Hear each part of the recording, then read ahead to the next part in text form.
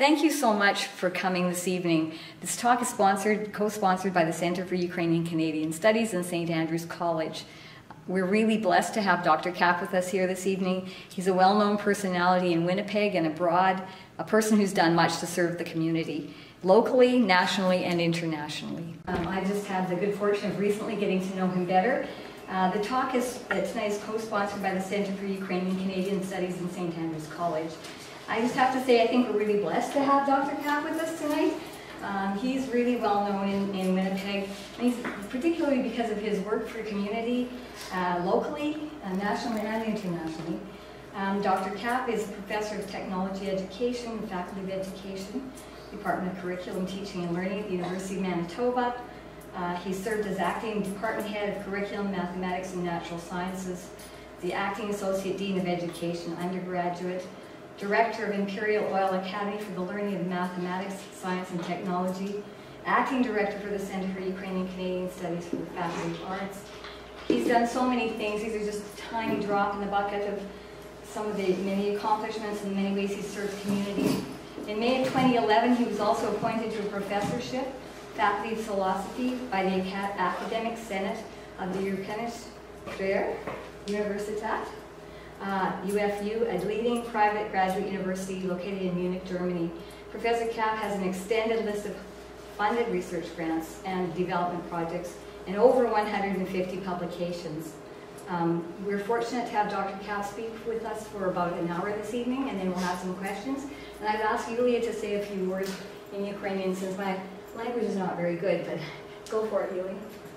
Шановні пані та панове, доброго вечора. Ми раді вітати вас у Центрі українських канадських студій при університеті Манітоби. Та сьогодні у нас є особливий гість, доктор Орес Цап, який є видатним науковцем та колишнім директором Центру українських канадських студій.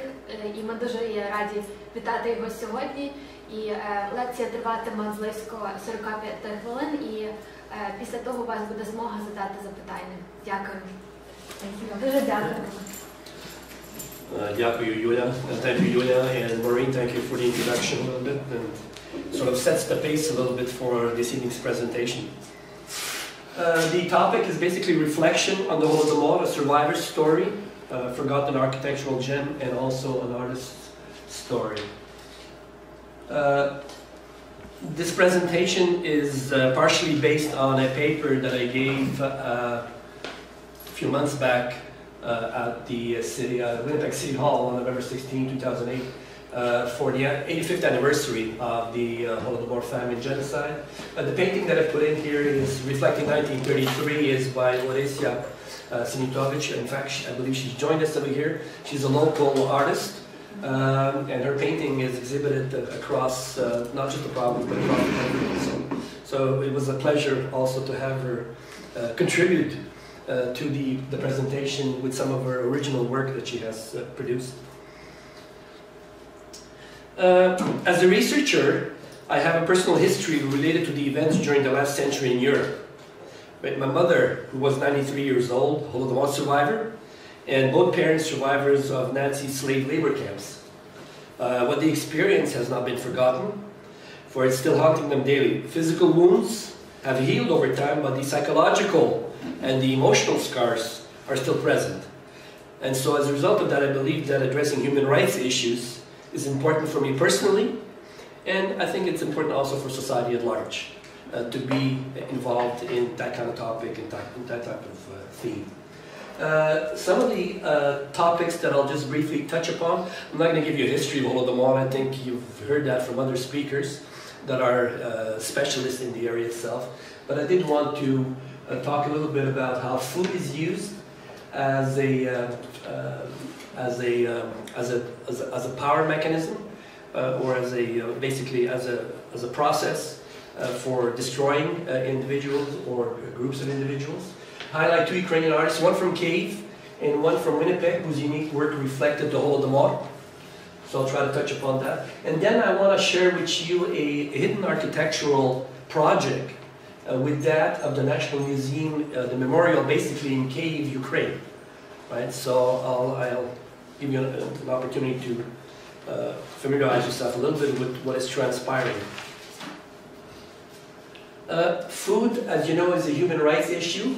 Uh, I've just highlighted a few of the articles or the documents that where you can actually find uh, articles related to food, and that food is a basic element of life, a source of energy, and without food, impossible to sustain life in any way. So you have the Universal Declaration of Human Rights from 1948, the International Covenant on Economic, Social, and Cultural Rights 66, the Convention on the Rights of Children uh, from 89, and I've also added the uh, 2010 Indigenous People and United Nations Human Rights System. So this, each one of those documents has specific articles that deal with food, the importance of food and how we have to uh, provide for, uh, for children, if that's the case, and, and the importance of it and so on. Uh, basic elements of life, I mentioned some of that. And uh, what's important also is that uh, it has become a, geo a geopolitical weapon, right?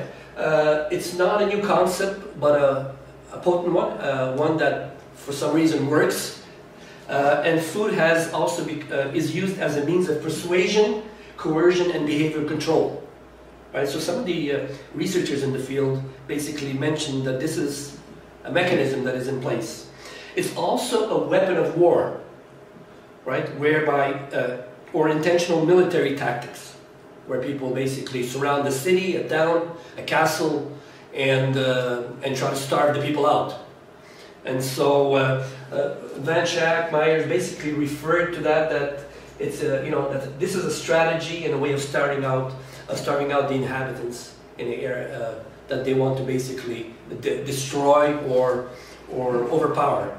I just put up a few castles. We have at least some examples of uh, that you know individuals or enemies may surround a particular castle and they may basically uh, hold on to it for a few months, few weeks until they finally uh, know that there's no more food, no more water available, and the people are starved out. So you've got over here the one from Kamenets-Podilsky.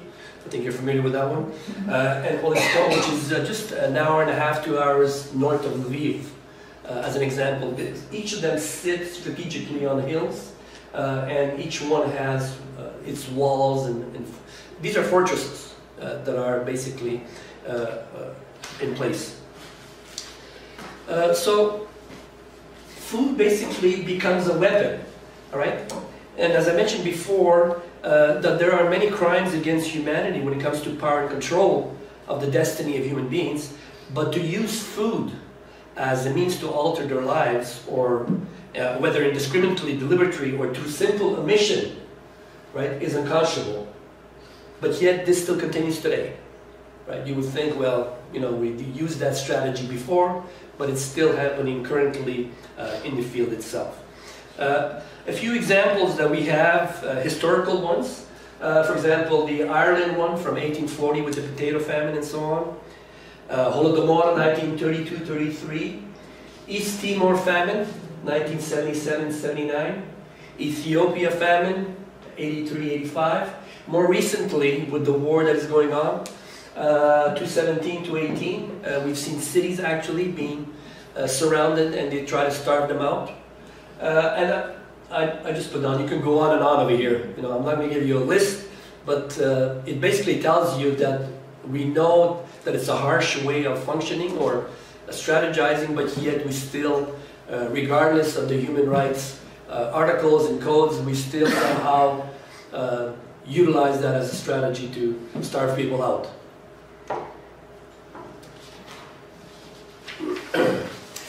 Canada, basically, as mentioned before, uh, recognizes only five genocides, right? And that's why the museum, the, uh, the Canadian uh, uh Museum for, uh, of Human Rights, CMHR, that's located in Winnipeg, uh, also highlights five genocides.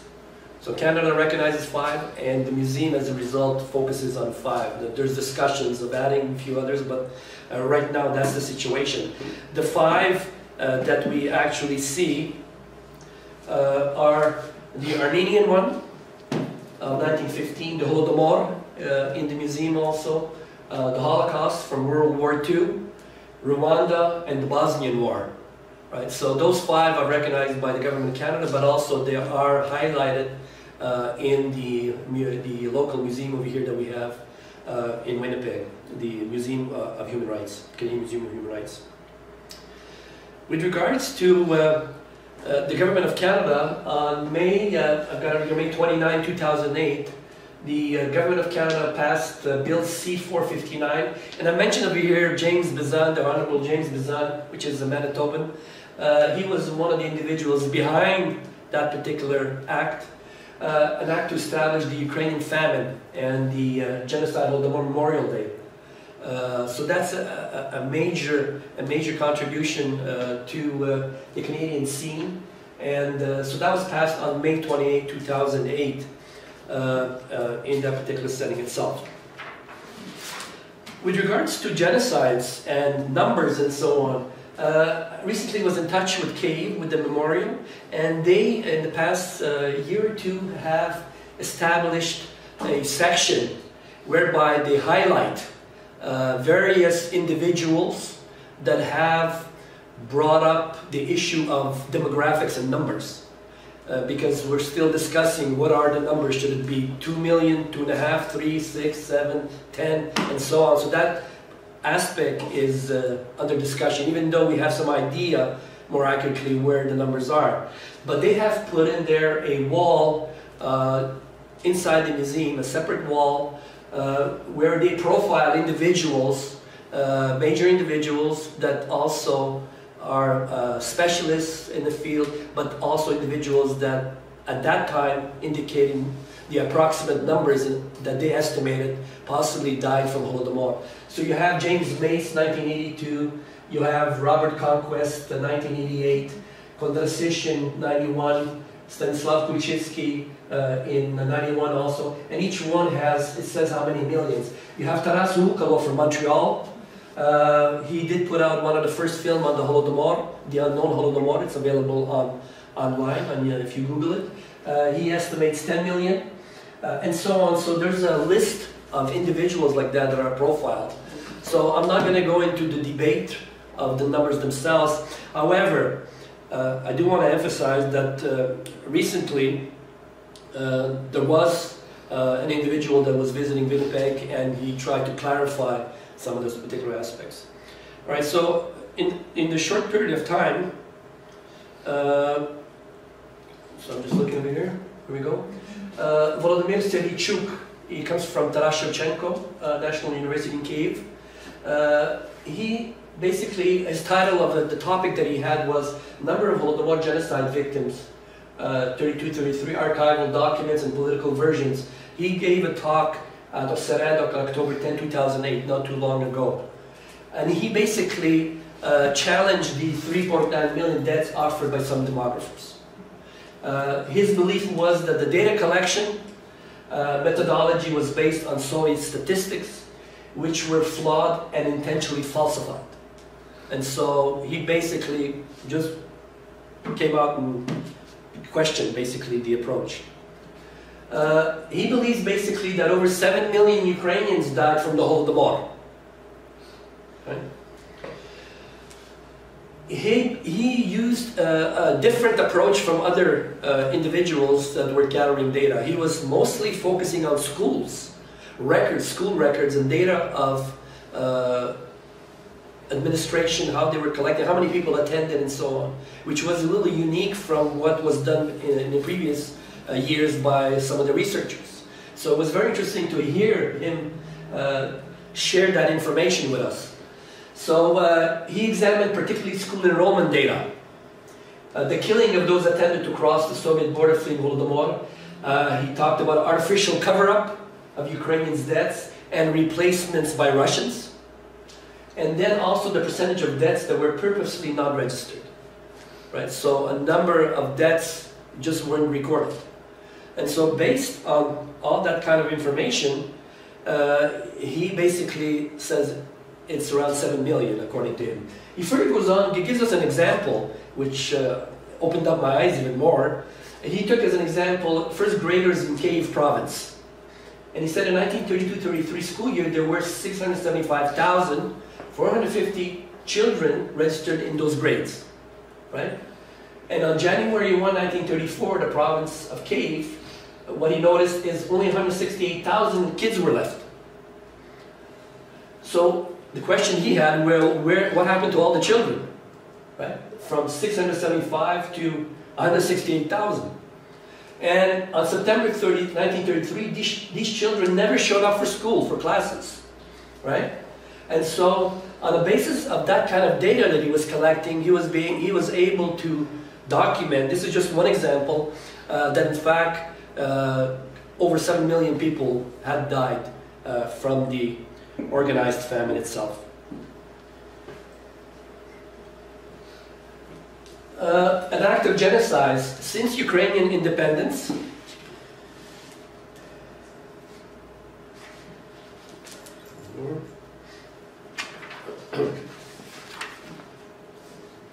Uh, a number of countries recognize the genocide. I'm not going to go listing all those countries, and they, every year new ones, and even some of the new, uh, some of the states in the U.S. also are uh, coming on board. So that's increasing uh, yearly. But since uh, Ukrainian, a number of countries recognize the famine as an act of genocide, right? So Holodomor archives are becoming much more accessible. So since '91, we couldn't have access to a lot of the archives uh, archives have been opened up, so now we have access uh, to data and we're able to uh, get a better picture, hopefully, of what had transpired during that period of time. So there's more literature now that is available to the public and uh, documenting the crime against humanity. So uh, it's happening more and more. Uh, I didn't list all the individuals, I just highlighted a few. I've identified Applebaum in 2017, she exposes Stalin's deliberate policy of mass starvation. So she refers to it, you know, as, as, as a genocide as we go through. Uh, this is Anne Applebaum's uh, document or book, The Red Famine. And then we also have, uh, as an example, Stalin's genocide uh, by Norman Naimark, uh, which also uh, challenges the notion that Stalin's crime do not constitute genocide. He, in fact, compares Stalin crimes to those of other of another notorious killer, Hitler. So, uh, in the Stalin's genocide, goes directly into that uh, particular setting itself. Right. So the uh, I mentioned uh, Norman Naimark, and I mentioned uh, his position on it a little bit. I want to move into Lemkin his name comes up more and more because he's the individual, Raphael Lemkin is the individual basically that coined the term genocide. Right? And so uh, he, coined, he coined the term genocide, and then that sort of laid the groundwork for the United Nations Convention on the Prevention and Punishment of Crime of Genocide. Right? Uh, so the document that you see uh, was approved, proposed, and signed and ratified. Uh, we're talking about December 98. It came into force in January 1951, and the United States uh, only came on board in 1980. All right, so just because it was produced in 51 doesn't mean that everybody came on board right away. All right. Uh, what about Lemkin? So I'm just repeating a little bit the dates, you have it, and so on. Uh, what I want to, the reason I brought him up also is not just the genocide, but a lot of the speakers that come by, for some reason, don't mention any of this. And I thought it was important for us to know about this. For fear of repercussions, the genocide document, the convention that was produced with the article that you've seen previously, it was a watered down version, right? It was weakened. It was political manipulation of the terminology and, and what uh, impact it may have. Keep in mind, the Soviets helped craft it and wanted to retain control of uh, the subjugated Eastern Europe and its vast system of forced labor camps intact. Right? And for some reason, most of the speakers we hear, even the ones that come across, historians and so on, don't talk about this. And this is important because the, that particular document uh, uh, is a political tool. The Soviets basically used it so that they are not called out on the carpet, right? And it's a crime. And so one way to avoid that is to water down the language, all right? Uh, this is the document. If you're interested in doing some research, you want to read a little bit more about it. Uh, uh, it was put out by Anton Weiss Wendt in 2017, and it's called The Soviet Union and the Gutting of the United Nations Genocide Convention. Right? Uh, it's put out by University of Wisconsin Press. Right? Uh, and so you, if you're interested in that aspect of, uh, then the, you're more than welcome to try to track that particular information down.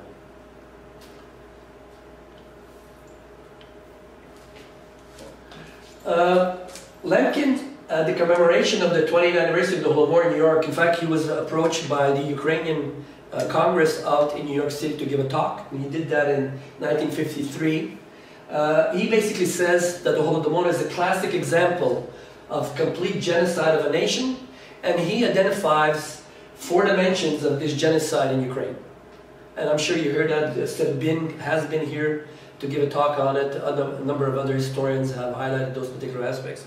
But I just wanted to briefly touch upon this. Uh, one is the decimation of the national elite, the intelligentsia. Uh, this is what was happening, and that's what Raphael Lemkin uh, refers to. Uh, in fact, I went back to the Ukrainian Quarterly back in autumn 1948, and just in 1931, uh, prior to 1932-33, 51,713 intellectuals were sent to Siberia. So destruction of intellectuals uh, and people that possibly could create a movement to resist, shipped them out. Destruction of the Ukrainian Orthodox Church. All right? And so I was looking at another source uh, by uh, Onyszkiewicz and Rymakovich, 2014, uh, called Contemporary Ukraine on a Cultural Map of Europe. They indicated basically that 32 Ukrainian Orthodox bishops were murdered and 10,000 clergy were liquidated between 1926 and 1932. They basically wanted to liquidate the spiritual aspect and the leaders in the church itself. Number three, the third one that Raphael Lemkin mentions is the starvation of farmers. And guess what? Food is used as a weapon. Right? So we see that happening more and more. And then finally, number four, replacing the empty villages. Uh, this is basically a, a cover-up, the artificial famine bringing in more Russians or destroying the ethnic unity of the populations uh, to facilitate the Russification of the area and cover up basically what they had uh, done. Uh, another name that comes up is Victor Rud, or Rudd. Uh, he's the former chairman of the Ukrainian American Bar Association, but he's also an international attorney. attorney. And one of his blogs, uh, which appeared November 12, 2018, in the defense report, he basically says that we've been conned before uh, by ourselves. That's the name of the article or the topic that he, he had put, uh, put out. He says we could do worse than ponder the lessons from our diplomatic recognition of the Soviet Union on November 16, 1933. All right? And that by de facto legitimizing uh, Stalin's regime, we became a player. No matter how attenuated uh, of the Kremlin's concurrent starvation politics in Ukraine, and basically says food became the ultimate weapon of mass destruction. Right? And uh, Rud basically, uh, in that document, has a listing of the exchange of diplomatic letters that went between uh, the Soviet Union at that time and Washington. So Roosevelt was responding to some of the, and the recognition that happened. And they knew at that time that there was a famine going on, but it was covered up, and they felt we need to, to move along.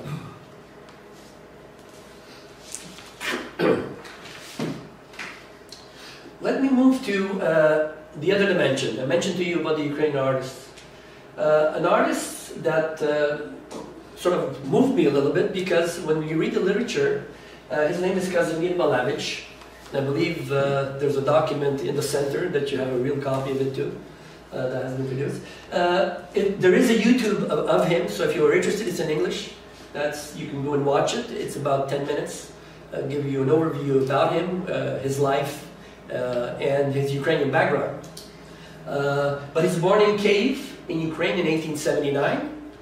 Uh, and the literature and also the French uh, artists in the field, and I'll just highlight it a little, a little later on, mentioned that he seems to have been the only artist to capture the Holodomor in 1932-33. As you know, Stalin wanted to make sure nothing gets out of Ukraine, any photographs, any anything that shows starvation, right? Uh, And then when I began to read that, I, and I stopped by the word only, and I, and I said to myself, as a researcher, I usually, it's a strong statement to be able to say only, right? So I tried to track to see if, if there's anything else that is available in the, in the area itself. So I did find other type of, uh, uh, other drawings. Uh, but his pencil drawing in 1930 illustrates the three figures, uh, three figures where faces are replaced by the hammer and sickle, a cross and a coffin. So in one of his paintings or sketches that he's done, he's got three faces, and on each of those faces he's replaced a, uh, a hammer and sickle on one, a cross on the other, and a coffin, right? Uh, so somehow he survived that era, but that was one way of uh, acknowledging what was occurring at that time. Uh, he's also an avant-garde artist, so he had a profound impact on the development of abstract art. Now, I did put in parentheses at the bottom Ukrainians have to begin to deal with cultural appropriation issues. Right? Artists, musicians, and so on. I could go on and give you a whole list of, uh, of individuals that other countries basically have appropriated. And Kazimir Malevich has been appropriated by the Russians. His name is Polish. He's Ukrainian, but yet he was brought in in the Polish environment, but all his communication was in Ukrainian. He spent a little time in Poland, so Poland is claiming him also. And so you have this issue that needs to be to some extent addressed by researchers in the field, right? Uh, this is an example of the, uh, uh, the uh, uh, painting or drawing. So if you look at the first one, you can see the hammer and sickle there on the head. The second one, the cross, and the third one, the coffin. Right? So that's the only one that I could locate that actually indicates that there was a Holodomor and this was his way of expressing it uh, in Ukraine. This is a picture of him. And there is, uh, if you're looking for other sources, there's a French art historian, Jean-Claude Marcadé. He has a book out called Malevich, was published in Kiev. Uh, and there's also uh, an article that's called Eight Things Associated with Ukraine. Right, so why, why is he Ukrainian? Right? Otherwise, what will happen is, is uh, uh, the cultural appropriation aspects begin to be appropriated by other countries. And so, uh, as I mentioned before, I was looking at the term only artist, and uh, I said I need to examine if there was anything else. So I looked a little closer, and I found that there's a 1933 Famine edition of Shevchenko's Kobzar. Hmm. I didn't know that. And for me, it was interesting. Uh, and it, a copy had survived, right? Because the government at that time, the NKVD that was in place, they basically destroyed all the copies. But somehow one copy survived. It features drawing sketches of Stalin's famine rather than the Tsarist Russia in the Kobzar. So the illustrations on the inside should reflect Tsarist Russia, but they reflect the famine, Stalin's famine. And so Vasil Sedlar, he was the illustrator of that Kobzar. And Richinsky was the editor of that book, of the Kobzar. Because they published and created that, they basically were both arrested and executed. But a copy has remained. Right? And I, I, wanted to share that with you because I think that's important. Uh, if you're interested in, in this particular uh, uh, uh individual, Sedlar, uh, they're available on the Internet Encyclopedia of Ukraine under Sedlar Vasil. Uh, it's Cleveland, Ohio. .org. you can track down that information also. But for me, it was fascinating to know that it wasn't just one person, and there are, there's another one that is available. What does it look like? So I went in, the document, and this is from the Kobzar. All right, so you have Vasil Sedlar's picture. This is from the Encyclopedia of Ukraine, the internet one. This is an example of the Kobzar Shevchenko. You can see what's happening. Uh, illustration again over here, people lining up. Right? And then I've got one more for you. Uh, illustration from Kobzar, and then also the dragging of dead bodies. As a result of what they produced, they basically both the editor the publisher and the illustrator were executed. Right? So if you're interested in that particular aspect, then that's something you may want to explore a little bit more.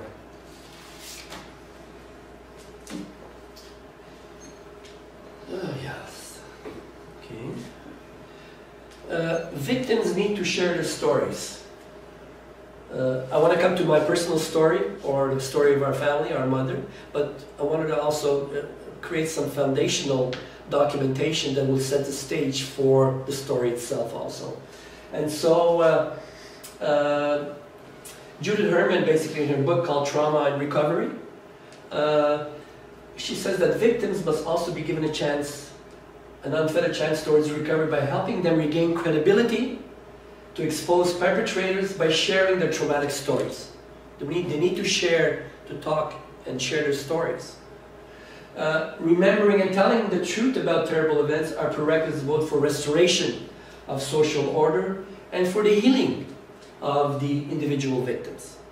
All right, so uh, an individual will uh, have an opportunity to share, talk, and it's a way also of trying to heal uh, what has transpired and what has occurred to them uh, while they were out there. So I'm going to be talking now briefly about a Holodomor survivor's story. Uh, uh, and just wanted to put a setting into it. So one such traumatic story was shared with our family by our mother Valentina. She's a Holodomor, was a Holodomor survivor from 1932-33, and both parents were survivors of the Second World War Nazi slave labor camps. So for me, it's like nearly a double whammy uh, of survival. And sometimes we, we think we had a hard time uh, in the context where we are. Uh, so to, to, to hear these things. But starvation was used as a means of torture and slow execution in her small town located near the Sea of Azov. And so I just put a map up there temporarily so you can see. This is the Black Sea, the Sea of Azov is here, and Berdyansk is right here, uh, right at the bottom. Uh, and in fact, when the Holodomor occurred, uh, it occurred on the eastern side of Ukraine. All right. Uh, so my mother was born April 13, 1925, uh, in southeastern part of Ukraine, Berdyansk, and it's called the Zaporozhia or the Zaporizhka Oblast or province in Ukraine.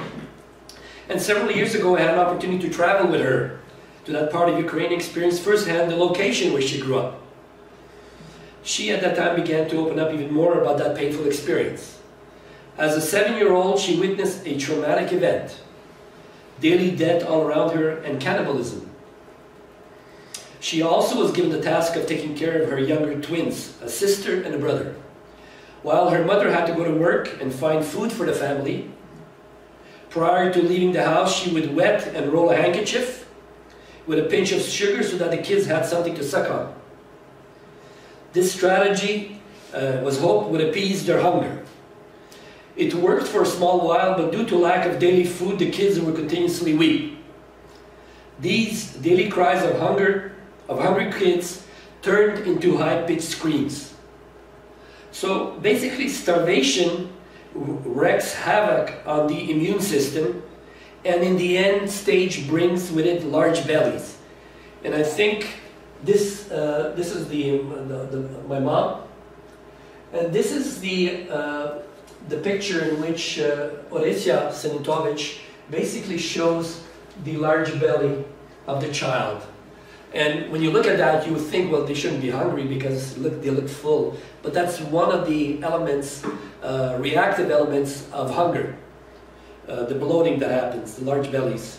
It sort of gives you an illusory, uh, sort of an illusory impression that starving children are well fed. Uh, this event, uh, basically the twins finally died a horrible death, and the event affected her tremendously psychologically, physically, emotionally, and even spiritually. She mentioned and reminded us on a number of occasions that prior to the twins' death, she had an apparition of Jesus in the large window of her main door. A voice calmly said to her, uh, Do not cry, I will come tomorrow and take them away. The next day, they basically died. Uh, so mom would repeat that constantly for us of the apparition and so on.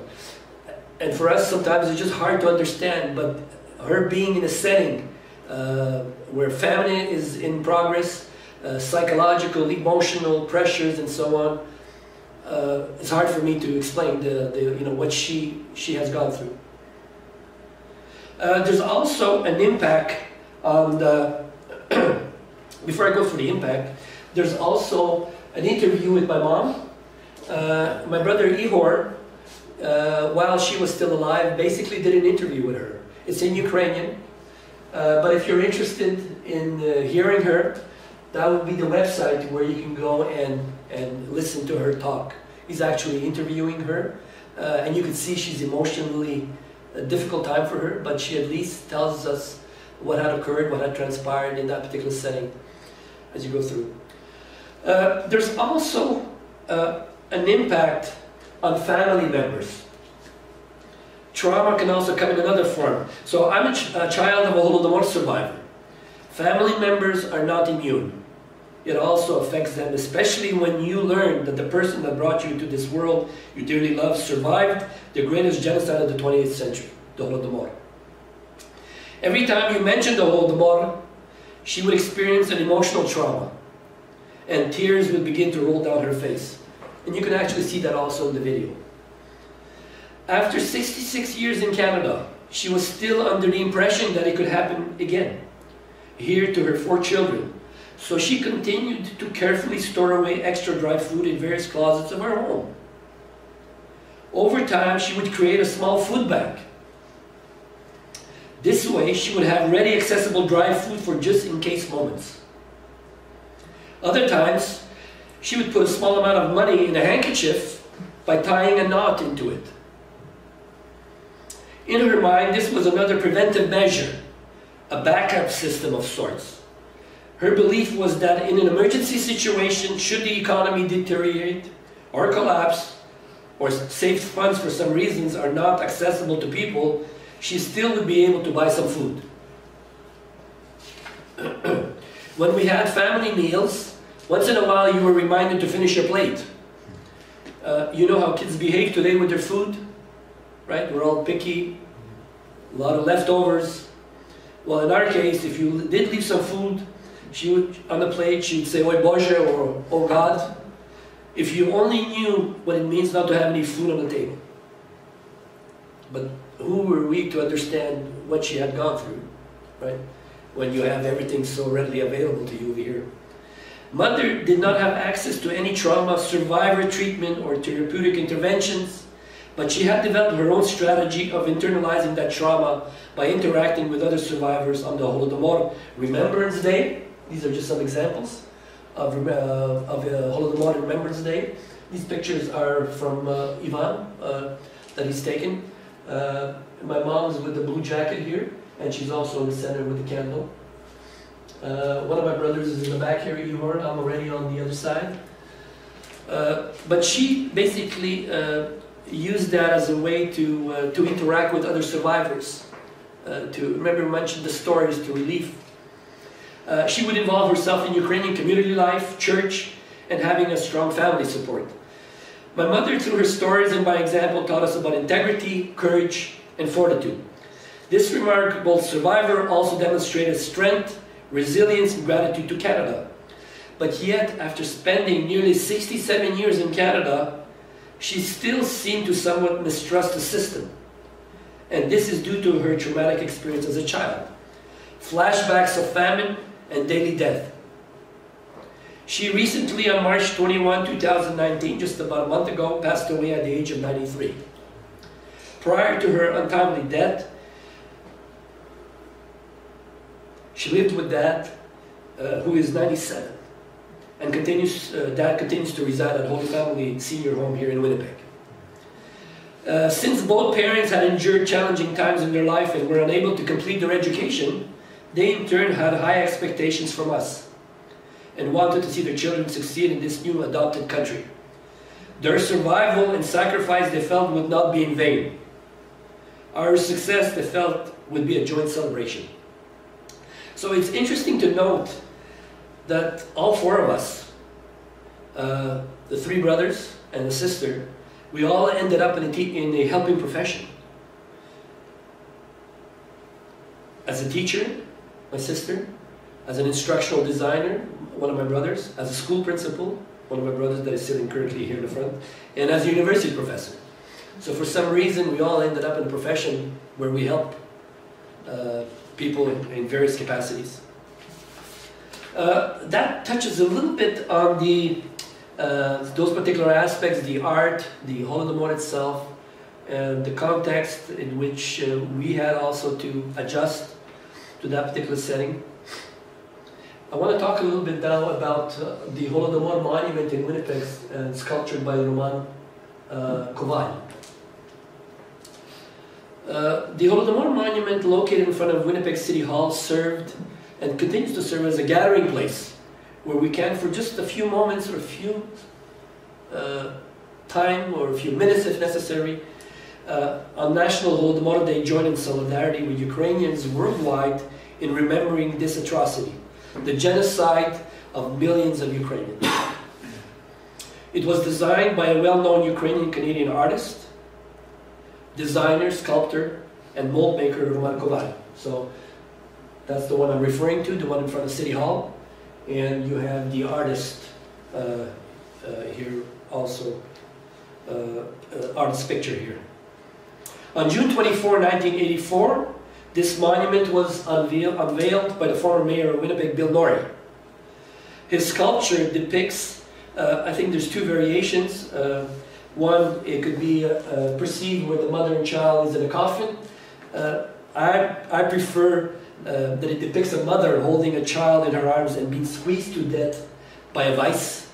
So depending on how you see uh, the, uh, the, the sculpture itself, but I'll leave it up to you to decide what fits uh, best your visual, your, your, your views. but he, I just wanted to cite him, which I found very interesting. He said that once the sound of the ceremony fades, of the sculpture itself, and everyday routine of people's lives resume, it's the aesthetic presence of the sculpture that remains. To give those nameless victims a memorial and a voice. And I found that a uh, very uh, strong statement. I just wanted to share that with you as we, as we go through. Uh, I also felt that it was important to add his wife. Uh, she also not just supported uh, and so on, but you know was involved basically in his work, helped out through the process itself.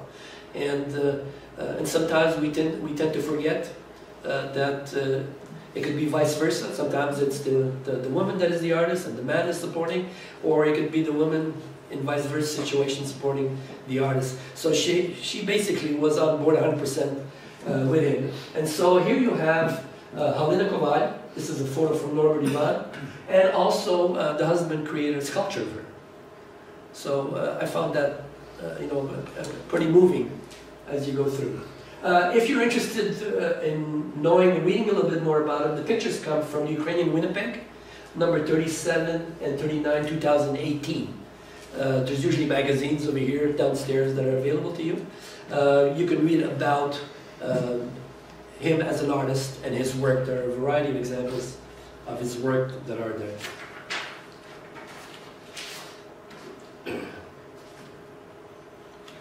Uh, I want to move now to Koval the architect. He was profiled in 2001.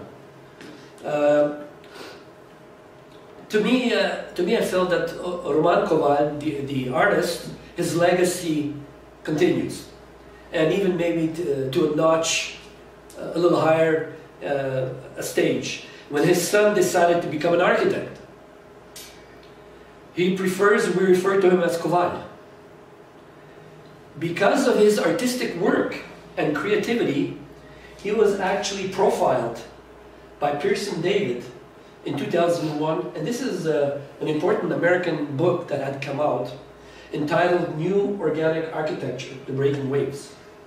This was published by University of California, Berkeley, and Los Angeles. And in there, there's a whole section about this young Koval, which is here in Winnipeg, and in fact, he's sitting with us over here in the back.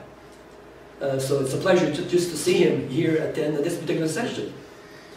Uh, Koval, the architect, the one that we currently have here among us, decided in 1993 right?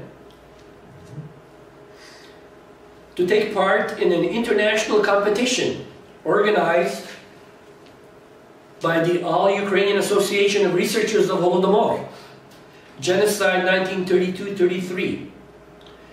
Marion Kotz, a Ukrainian American community activist and board member of this organization, spearheaded this initiative. Right?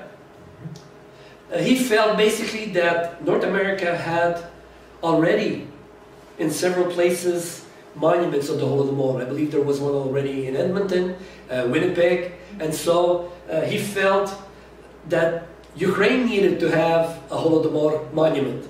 And so the main goal that he had in mind, Marion Kotz, uh, through this international competition, was to commemorate the 60th anniversary of this tragedy, of this tra tragedy. And having architect design a monument which would depict the best representation of the victims of the Holodomor. And so, uh, for this competition, criteria were established. You might not be able to read it. Uh, it's, it's faint. I can see it over here on my sheet, but you might not be able to see it. But if you need to see it, I do have a copy of it. Criteria were established uh, in 93 and also distribution of cash prizes. First prize, $5,000, second, $3,000, third prize, $2,000 were made available to all interested participants. All right? All projects were be had to be submitted to the Kyiv office in Ukraine. And they were to be reviewed by a jury of excellence. The selected monument was to be built in Kyiv on a recommended location of the architect that has produced a particular design. Panel members were asked to express their judgment on the projects, but they were not able to gather the necessary votes for the first, second, and third place winners. So they therefore decided to select the top seven submissions. Right? This is in 1993. And so, on this particular sheet, you basically have uh, the answer from Kyiv and from uh, uh, Marianne Kotz indicating that here are the top seven candidates that they felt uh, that need to acknowledge. Four of them are from Kyiv. This is an international competition. Four are from Kyiv, one from Ternopil, one from Vinnytsia, and guess what? One from Winnipeg. The Kowaldi architect. Each one of them were allocated an honorarium of $500. Okay? And and their uh, projects basically were exhibited in Kyiv and shared. I mean, somebody had to examine and look and share and decide to what extent we're going to go with this. Now, uh, 42. This is the uh, the, uh, the rendering that Koval uh, created. All right, so just view it very carefully from the center, right? And you can see the people over here. This is a side view, I believe, uh, and this is the entrance over here to the uh, uh, to the monument or the memorial itself. All right. I'll give you a little more detail about it as we go through. This is the top view of what he had uh, produced. So what you've seen, the tower is here in the center, right? The entrance to the memorial, and then the memorial complex uh, organized uh, around. So this is a plan from the top view. For those that are in architecture, it gives you at least a visual illustration of what it looks like. Now keep in mind, this was created by him and submitted in 1993. If we look a little bit further, this is the same uh, plan on the right-hand side. I don't know if you'll be able to see it. Uh, and he located it because the architect was recommended where would you like to see it. Uh, this is the Verkhovna Rada building. Right next to it is the palace. where the president meets and so on. So it was in the park here. All right. So it gives you a sort of a three-dimensional view of what this looks like.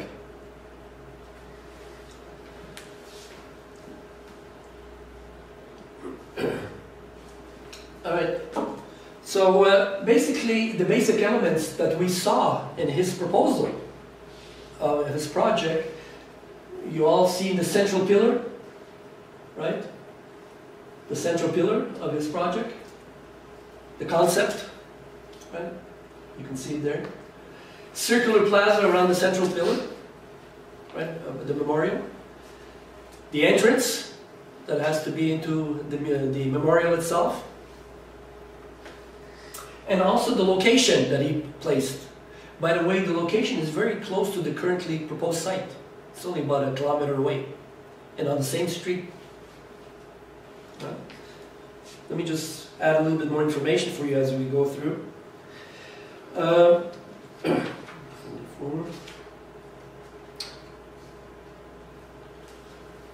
uh, the design tower that uh, proposed uh, we're talking about 49 meters or 161 feet. The tower proportions are in there. Uh, the 2008 memorial is about, this is an estimation, about 35 meters. But again, if you add the 6 meters for the flame at the top, right, uh, the number slightly changed to 41. So you've got 41 in the 2008 memorial, approximately. It's 29 and 35. 29 and 35, so uh, the, the numbers are there. Yeah. All right? All right, so uh, let me just uh, move on a little bit. All right, so uh, 13 years later, if you're still with me, 13 years later, November 28, 2006, the Parliament of Ukraine recognized the Holodomor as a genocide against Ukrainian population, and President of Ukraine, Viktor Yushchenko, signed the bill which included a provision for commemorative events and the construction of memorials to honor those victims. And on May 27, 2008, I think well, most of you will remember, the President of Ukraine visited the city of Winnipeg to receive an honorary doctorate from University of Winnipeg, visit the Holodomor monument that Roman Koval also had uh, uh, uh, created, and also to speak to the people gathered at the Shevchenko monument on the grounds of the Manitoba legislature. Uh, during this visit, when he was in Winnipeg, uh, Yushchenko, in 2008, the UCC Manitoba, on behalf of the Ukrainian community, gave him a sculpture entitled Hetman, created by the late Roman Koval. And during that time, Mrs. Koval gifted him with an album of her husband's work, which included, at the end also, illustrations of the proposed monument from 1903 that Koval the architect had basically created, right? She said that when he saw the 93 model and pictures that Koval created, he was somewhat confused. When I saw those pictures, and also the memorial pictures, the same illustrations, I was shocked and confused. And I said to myself, well, how is this possible? The National Museum, the Holodomor Victim Memorial, was erected on the banks of Kiev by the Dnipro River near the Pechersk Lavra. And this complex was conceptualized by Anatoly Haidamaka, and the architect was Yuri Kovalov. This is the memorial today. You saw the one that Koval produced in 93? And the plaza? This is the one that was produced by them in 2008. So you've got your entrances and you got your exits, right? So on the left-hand side you have Koval's proposed uh, memorial in 93, 13 years later, you have this one. And so my question uh, is, as I look at that, I become even more confused. Right? If I just take the, the top off over here, which is supposedly a flame or candle, uh, and then look at the other issues that, ha- that, that Koval had designed, uh, I have a problem. And so I'm not an architect or a specialist, but I think this is something worthwhile to explore in a little bit more detail. Uh, and if that's the case, then Winnipeg uh, is, is an important contribution, maybe, of Winnipeg, or has an important role to play in this particular approach. Uh, I should mention before I just wrap up that if there are graduate students that are doing a master's or a PhD that are interested uh, in accessing Koval's uh, archives, because it's got a whole list of, uh, of archives of work, artistic work and sculptures, uh, to contact either myself or yourself, uh, contact the center basically, and uh, we can then uh, initiate the communications with the Koval family for that. So I'll stop at this stage.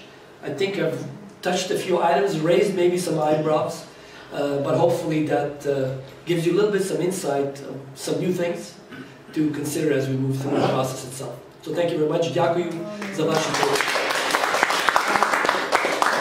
First of all, I'd like to say we could use a course, a whole course. Uh, you know, I'm not kidding. If you want to, we have to talk, but um, I thank you so much for for sharing. You know, just sparking. I, I've read a fair bit, but I'm like, oh my gosh, I'm blown away now. So much more to, to learn and and people to, to get to know in our community. This is amazing. Thank you. Um, do you have? Does anybody have questions? Uh, Koval, did you have any input maybe with regards to your work or any comments maybe or? I can answer any questions. I mean, it's just uh, the the um, the size and presence of the design I did was based on the uh, premise that Ukraine must demonstrate its maturity as a nation by putting up a monument to such an important event that is of the same scale as the monuments that were put up all over Ukraine by their oppressors. And just a few kilometers down the banks of the Dnipro is that big, Soviet what I call the Soviet kurva on, on the bank of the Dnipro, uh, which is 62 meters high. Uh, because of the scale of the surroundings that I chose, which I chose because of the historical, I couldn't go as, as, as big as that, but I felt you couldn't do anything less in, in, in terms of self-respect as a people than to put up something that, that is of, of, a, of a similar scale. Uh, and mine is like 49 meter tower, and the building that houses the archives, which was part of the program of the competition, is 72 meters per side, and it's two stories high. And it's solid, polished black granite all the way around, and the only way to get in is that split in the stone on the corner, which is only three meters wide and seven meters high. That's the entrance you're referring to. Yeah. That's, the, the drawings are amazing and just so much more powerful. There's there's Yeah. more stuff on the website. Okay, well, Well, we thank need to you. look. Thank you so much. So is it just chat with, with? Thank you very much. and Dad? no, we can't thank you enough. Thank you so much. Thank you for sharing your story, right. the beginning of your story. Thank you to your family. Um, thank it, you for coming tonight. Yeah, it was a pleasure, and hopefully uh, we'll have a chance to chat over coffee. Thank yes. you very much. Yaku. Yaku. Yaku.